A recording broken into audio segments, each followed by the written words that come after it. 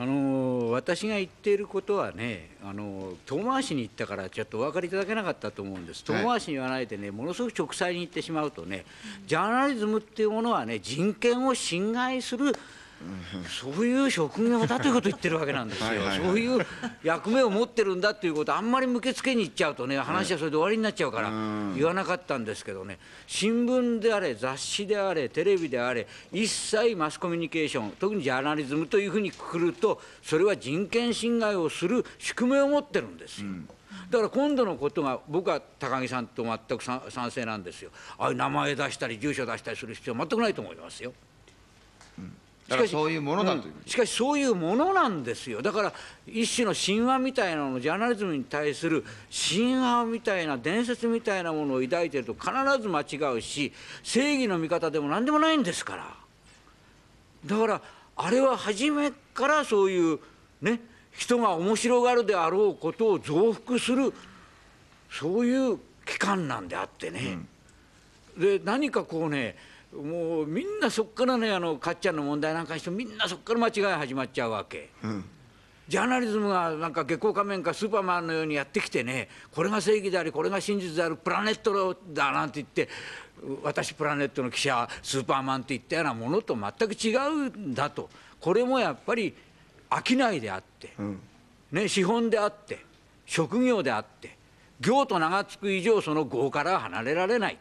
人権侵害をするものだという感覚に立った時にね初めて責めることができるわけですよ、うん、なんでこの人の名前なんかあれすんだ？この人の写真なんか出すんだ？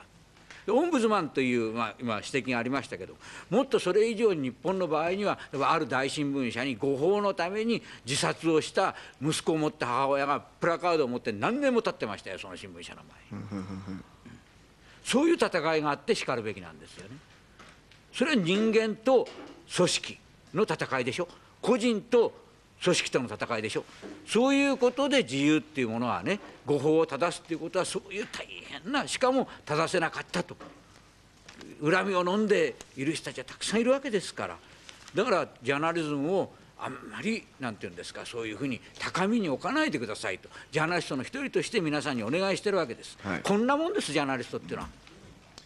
ただまあなんかちっちゃい頃からね、新聞が偉いというような先ほどの報道の必要性についてですけれども、はい、えー、一人のジャーナリストとして竹中氏の意見に賛成します。氏の言うことは多分すべてをひっくるめて真実だと思います。ジャーナリズムの現場とは実際に非常に矛盾に満ちています。現場の人間は多分自己の職業人としての使命を全うするために救急としながら自己矛盾を感じているはずです。でも実際にそれを利用するしようとする一軍の人間がいる。彼らがすなわちジャーナリズムを歪めているのです。ジャーナリズムの問題はもう一度取り上げて議論してもらいたいです。板橋区の小林さんからいただきました。はいありがとうございました。